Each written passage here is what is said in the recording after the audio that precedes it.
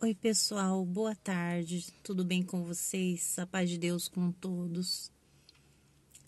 Eu não queria gravar esse vídeo falando desse assunto que tá. Eu acho horrível, sabe? Eu. pegar meu café.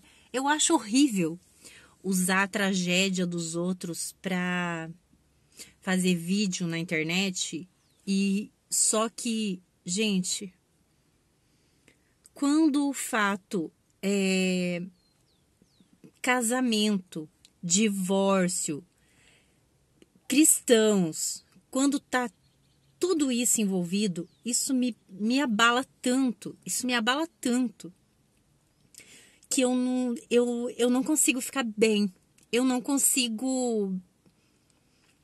Ai, eu não consigo não sentir na pele porque quem já passou por um casamento abusivo sabe.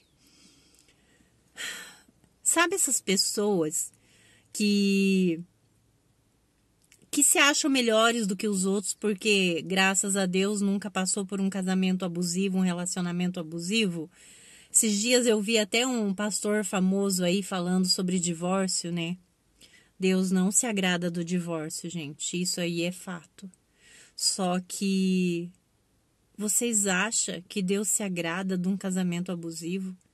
De uma pessoa que está fingindo que é crente, que está te maldizendo todos os dias, que está abusando da mulher, que está ameaçando de morte. Vocês acham que Deus quer isso para alguém? Deus une duas pessoas para se ajudar, para uma apoiar a outra, para as duas é, ser melhores. Lógico que às vezes é a própria pessoa que comete o erro de, de casar com a pessoa errada. Não foi nem Deus que colocou na vida dela. Só que, gente, errar é do, do ser humano. Agora, você acha que Deus quer que a, a pessoa continue num casamento ruim? Gente, olha, igual a situação dessa cantora, Sara Mariano. É, cara matou ela queimada. Agora eu quero que essas pessoas que são contra o divórcio, que, que fica aí falando e falando, se ponha no lugar dessa mulher.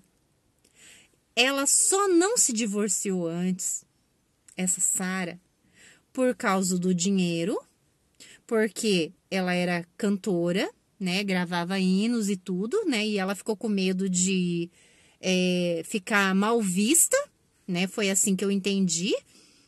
E ela tinha uma agenda para cumprir.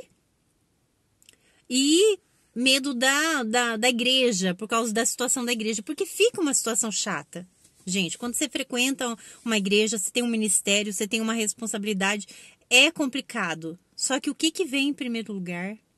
A vida não vem em primeiro lugar. A paz não vem em primeiro lugar. A comunhão com Deus não vem em primeiro lugar. Não estou falando que a gente não tem que é, orar e esperar em Deus. Muitas vezes Deus pode entrar no coração e fazer uma obra. Agora, quando chega na, na situação do cara ameaçar de morte, abusar fisicamente, psicologicamente, humilhar, é, ameaçar. Gente, meu Deus do céu, isso aí é caso de polícia, não é caso de religião, não é caso de igreja, não é caso de, de pastor resolver. Gente, isso é caso de polícia.